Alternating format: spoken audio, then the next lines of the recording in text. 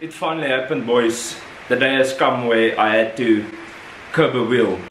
They ask you how you are, you just have to say that you're fine when you're not really fine, but you just can't get into it because they would never understand.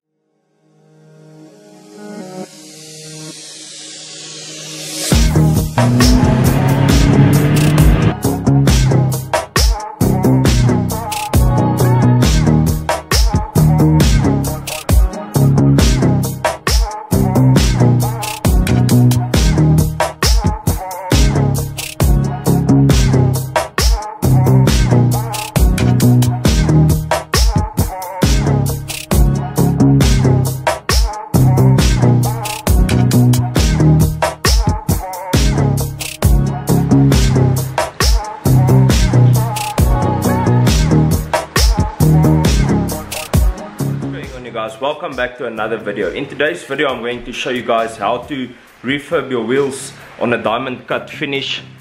Like i just mentioned unfortunately i curbed one of my wheels. It's the first time that i'm curbing a wheel in 10 years. I've been driving 10 years with big wheels on my cars and never once have i curbed a wheel until two days ago when i ran into a curb. I'm not exactly sure what happened. I was looking down to put my card in after my banking card in the slot holder after I went through the toll gate.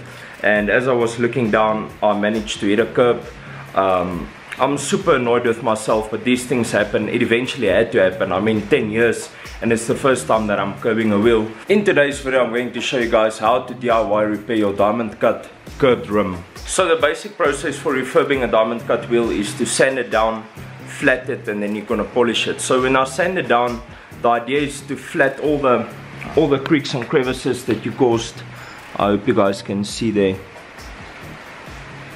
So we're going to flat that down to get a smooth surface again and then we are going to polish it. When sanding I'm obviously going to start with a coarse grit and then I'm going to work my way up all the way to I'm going to try and go up to 3000 because I have a very high grit for the headlights the headlight restorations that I do.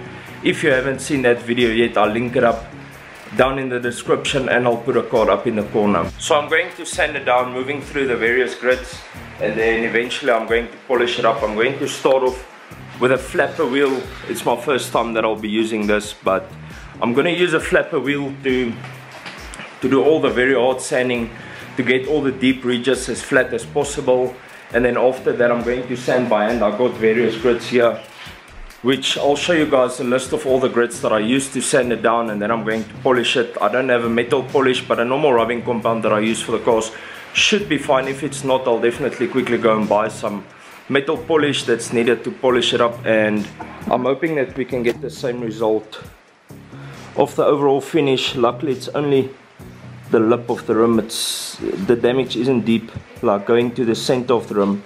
It's only on the edge of the wheel but there is some very deep crevices in there as you can see unfortunately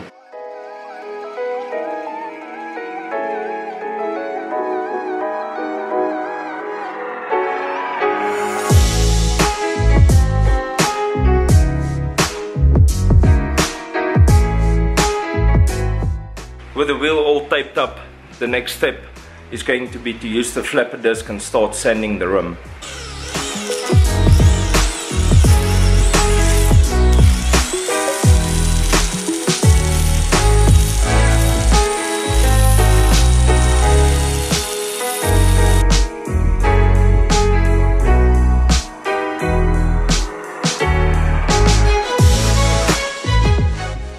So this side has been sanded and this is not as you can see the flapper wheel gets it pretty flat. There's one or two very deep gashes there which I'll probably chase out a bit more. I just wanted to show you guys how flat this already looks compared to this.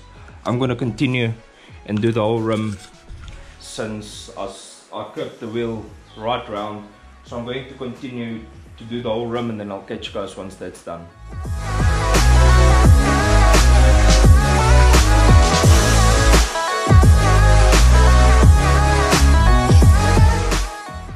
after sanding with a flapper, flapper disc you can see that it's smooth.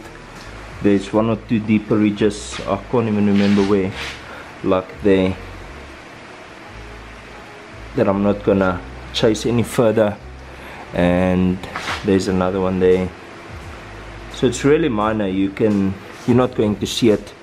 But next up I'm going to move over to hand sanding. I'm gonna start with not to that gonna start with 180 move over to 220 then 360 and then I'm gonna move to uh, to a 600 grit and then thereafter I'm going to use the power drill again with 800 grit disc. Then I've got a 1000 grit and then a 3000 grit and then we're gonna start polishing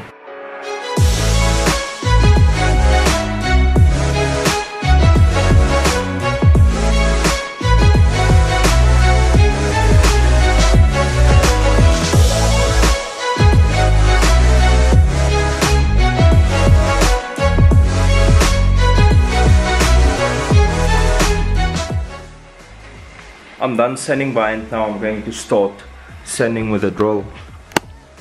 As you can see it looks absolutely great at the moment. It's just a bit dull but I believe once I go higher up in the grit the shine will come back. So I sand it up to a thousand grit with the hand and I'm going to wet sand now with water only on the drill using a sanding disc. I'm gonna start at a thousand and then after the 1000 I'm gonna move to 3000 and then hopefully all the scratches will be out and then I can polish the wheel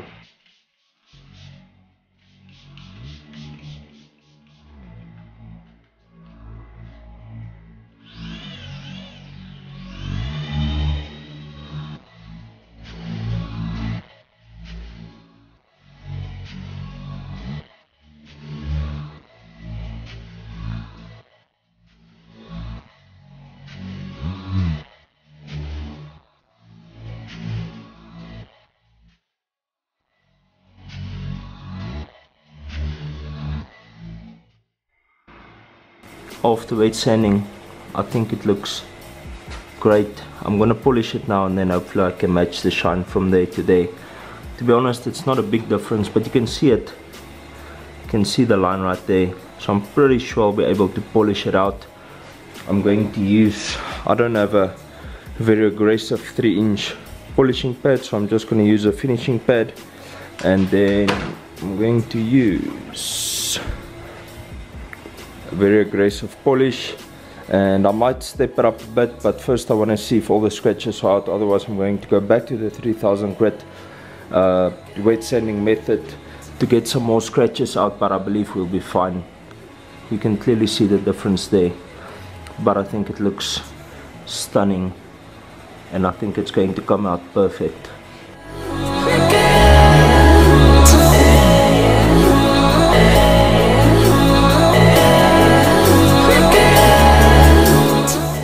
got the wheel polished and I think it looks good. Just want to show you guys what it looks like.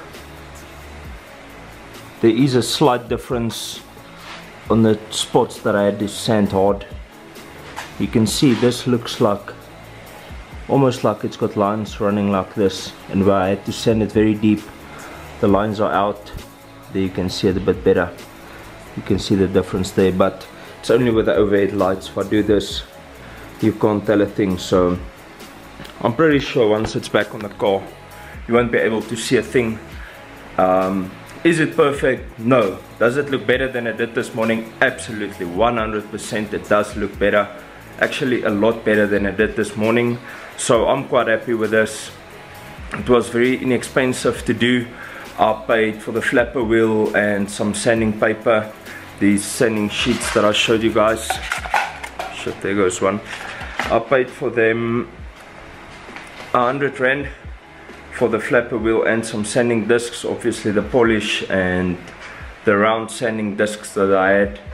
Those are my stock so I didn't pay for them but it cost me 100 bucks to do and I'm pretty chuffed with this. I'm pretty sure if you take it to a wheel shop um, they might be able to get it a bit better but you're looking at about a thousand rand per wheel to get them done. So I'm happy with this. I'm going to put it back on the car now and then I'll show you guys a couple of afters. Like I said, I'm pretty sure you won't be able to see once it's on the car unless you go and inspect it up close. But just walking past the car, you'll never be able to tell. Well, I hope that's the case.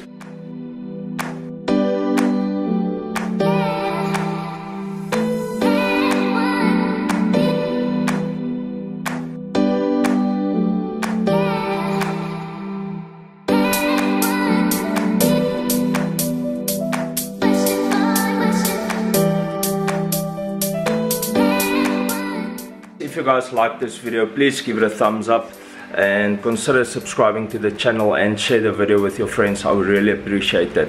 I'll see you guys in the next one. Peace out and reflect your passion